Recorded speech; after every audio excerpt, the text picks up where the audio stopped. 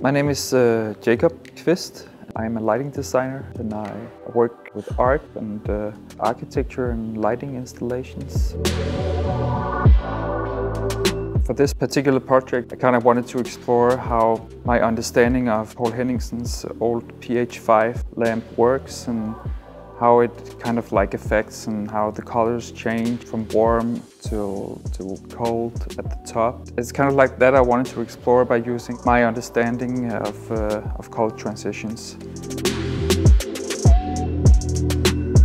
It's always uh, very interesting to me to, to see how people react to my installations and how they react to, to light because light is such a fundamental thing in our uh, everyday and usually we don't really think about how important it is and how much we are affected by lighting.